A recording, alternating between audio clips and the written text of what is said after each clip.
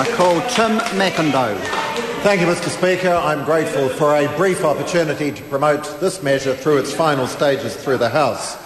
Mr Speaker, it will be patently obvious to viewers and listeners around the country that we have been treated to some barefaced and shameful rewriting of history by members opposite during the various stages of this bill.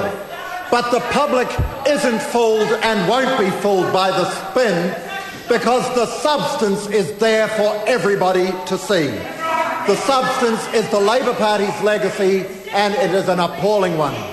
The loss, Mr Speaker, of $4.8 billion, as reported in the 2008-9 annual report, should leave all members of the previous government collectively hanging their heads in shame. I commend this minister and this government for confronting the appalling problems that Labour not only ignored but exacerbated during the latter period of their time in office. The options that the minister has confronted were unpalatable but unavoidable. The Minister is charting a prudent and responsible course to rescue and secure a vitally important aspect of our nation's social infrastructure.